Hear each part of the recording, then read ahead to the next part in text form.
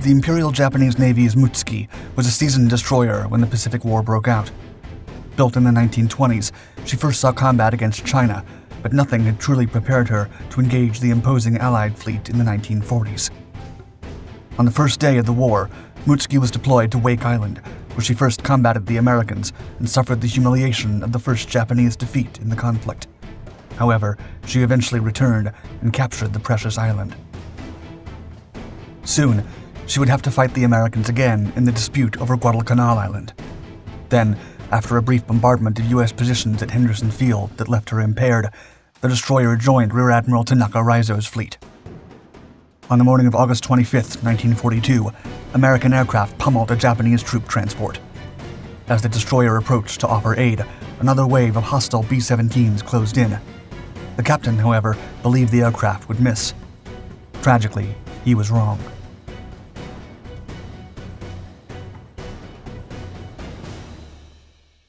Destroyer 19. Mutsuki was the nameship of her class and was the first of a dozen first class destroyers built for the Imperial Japanese Navy during the 1920s. She and her sisters were developed as an improvement of the earlier kamikaze class destroyers, and they were built at the Sasebo Naval Plant in Japan.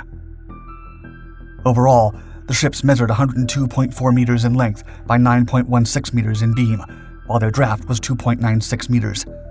Mutsuki and her class had a displacement of 1,315 long tons at standard load, and at deep load, it rose to 1,772.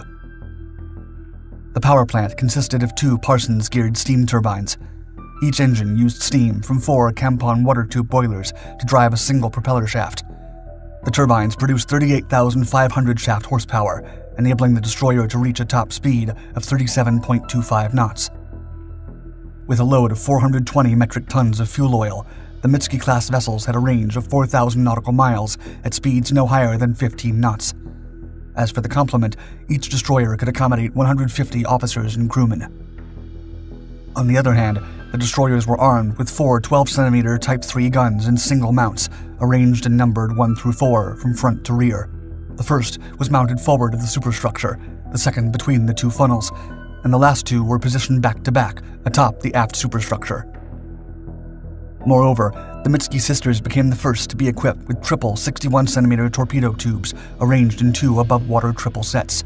One mount was fitted between the forward superstructure and the forward gun, while the other was placed between the aft funnel and aft superstructure. The ships carried four reload torpedoes for the tubes, 18 depth charges, and up to 16 mines.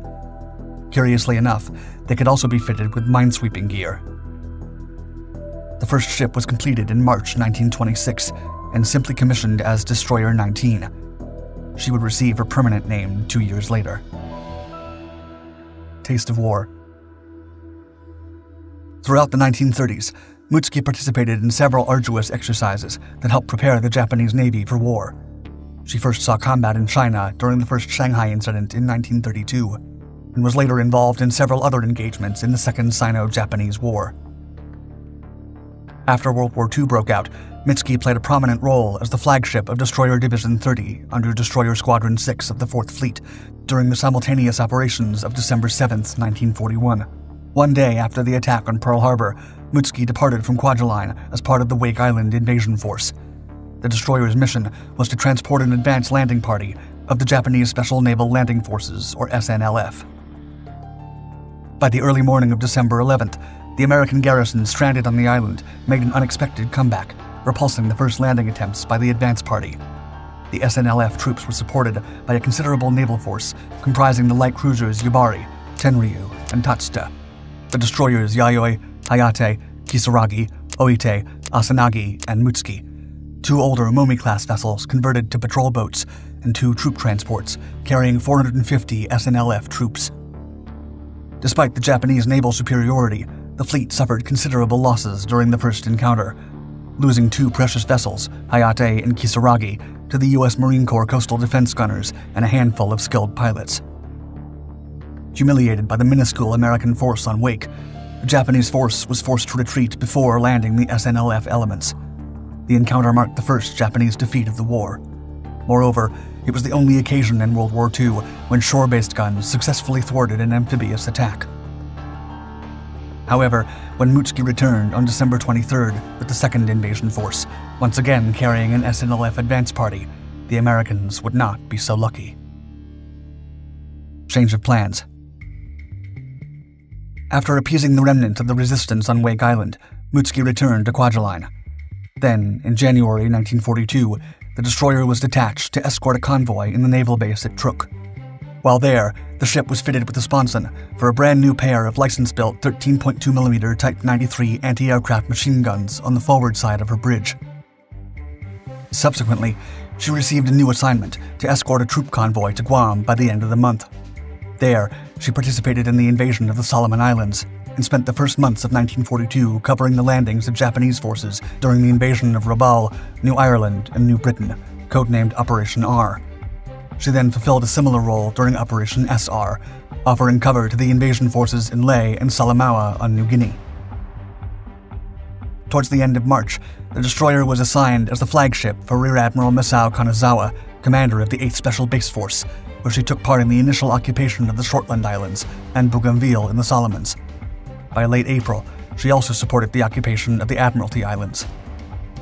From March 7th to 8th, Mutsuki was slated to serve in Operation Mo, supporting the invasion force heading to Port Moresby during the Battle of the Coral Sea. But when the operation was cancelled, the destroyer remained near Rabaul. For several weeks, Mutsuki served as an escort for shipping traveling between Truk, Rabaul, and Palau until she was recalled to the Japanese mainland in July. Back home, the vessel underwent a brief refit in her native Sasebo. With repairs completed by July 12th, Mutsuki was once again sent to battle with the Imperial Japanese Navy 8th Fleet and on August 24th, she would aid in the Japanese's first major attempt to recapture Guadalcanal. Dispute As part of the Guadalcanal campaign, the Allies were attempting to establish a foothold in the Solomon Islands, from where they could launch a more powerful offensive.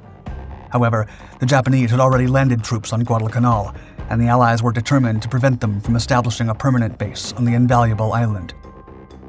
Meanwhile, Japanese forces began gathering at Rabaul, roughly 1,050 kilometers northwest of the disputed territory. In response, the American Task Force 61, under Rear Admiral Frank Jack Fletcher, concentrated southeast of the island. The fleet included the carriers USS Enterprise and USS Saratoga, and the battleship USS North Carolina, which had the support of numerous cruisers and destroyers, as well as aerial support from land based aircraft from Henderson Field. When the two fleets made contact on August 24th, the Battle of the Eastern Solomons officially began. Aircraft from Saratoga sank the light carrier Ryujo and severely damaged the seaplane carrier Chitose. In contrast, Enterprise endured a pummeling attack from dive bombers from the carrier Shokaku. Ablaze, the vessel was out of control, but auspiciously for her crew, the Japanese were entertained elsewhere following an erroneous position report. While the carriers on both sides engaged in an epic encounter that would tip the balance of the Pacific War, Mutsuki offered support by directly bombarding U.S. positions at Henderson Field. If she was able to neutralize the enemy stronghold, the Americans' aerial capabilities would be significantly weakened.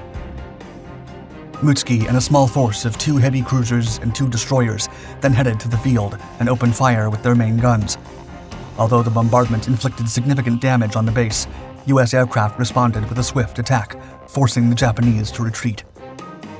Mutsuki was maimed but survived to continue her duties the following day. Once in a while,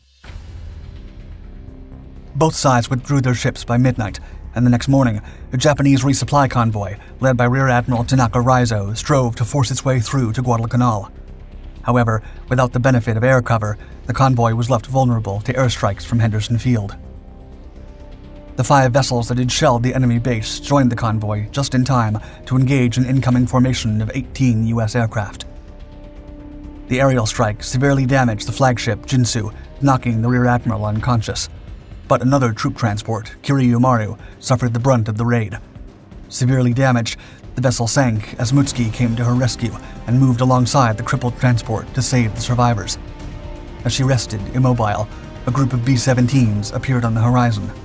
Unfazed, the captain resolved to continue their rescue efforts, assuming the high level bombers would drop their cargo with negligible accuracy. Against all odds, the bombers scored with pinpoint precision, and the destroyer was sunk. As Mutsuki went down, her captain hauled, quote, Even the B 17s could make a hit once in a while. Historian Richard B. Frank summed up the battle's significance, saying, quote, The Battle of the Eastern Solomons was unquestionably an American victory, but it had little long term result. Indeed, Tanaka retired only to return with his infamous Tokyo Express, which would ferry tens of thousands of Japanese troops and tons of vital supplies to Guadalcanal under the Allies' noses for several months to come. Thank you for watching our video. Don't miss out on more epic encounters from modern history by subscribing to Dark Seas and the rest of our Dark Documentaries channels. And show your support by hitting that like button and clicking the bell icon to be notified of our latest content. We publish new videos regularly, so stay tuned.